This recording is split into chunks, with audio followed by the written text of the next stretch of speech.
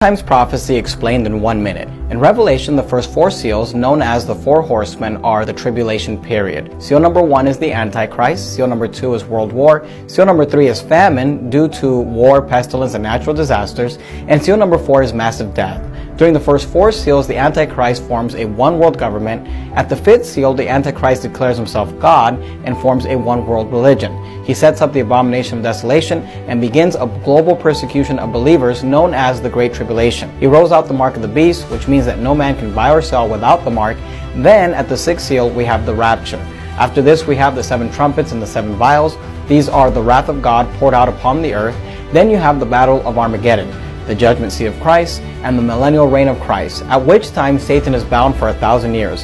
At the end of the millennium, Satan is loosed. Then we have the battle of Gog and Magog, we have the great white throne judgment, and finally we go into the eternal state. End times